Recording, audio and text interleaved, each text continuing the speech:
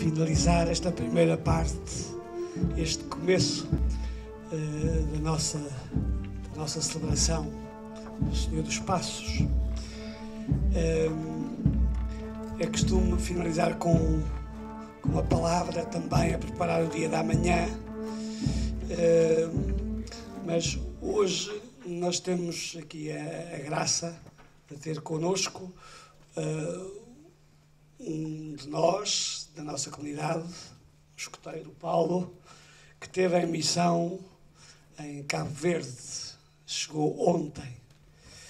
Um, e eu ia-lhe pedir que, que, partilhasse connosco o que é que é isto, o que é que é ir em missão. É verdade, eu vi ontem e venho de coração cheio.